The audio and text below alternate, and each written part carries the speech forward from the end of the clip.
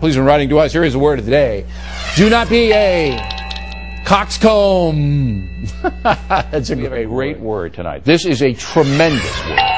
When writing to us, do not be a quake buttock. Have you? I never heard that word until I found it. It's a real word. Bill O'Reilly.